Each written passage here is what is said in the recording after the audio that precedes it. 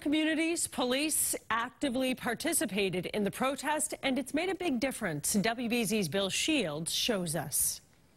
Weston is one of the wealthiest communities in New England, but here too, hundreds of people marched today in support of Black Lives Matter and human rights. We do live in a privileged community, and it's so important that we recognize these injustices, though they may not affect us personally. And in the middle of the marchers, Police Chief Michael Goulding, who wanted to send a message. To show them we, uh, we feel just as strongly as they do about the uh, horrific offense that, events that took, um, took place in Minnesota.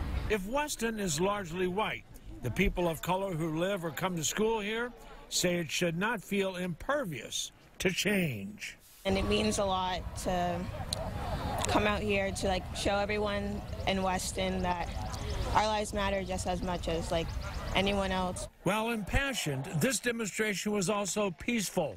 And we saw here, as we saw in Boston, police officers taking a knee in solidarity with the protesters. You know, there are departments, there are people in the department that don't think it's a great idea to take a knee. There are other guys that were more than willing to take a knee and, and did it without provocation. And I think that uh, that worked very, very well. I think that it, it blended with the community well. I think it showed a human side to the Quincy Police Department and police officers in general.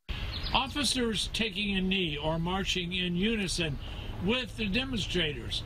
It's a good way to diffuse a situation, but also maybe it's a new kind of mindset.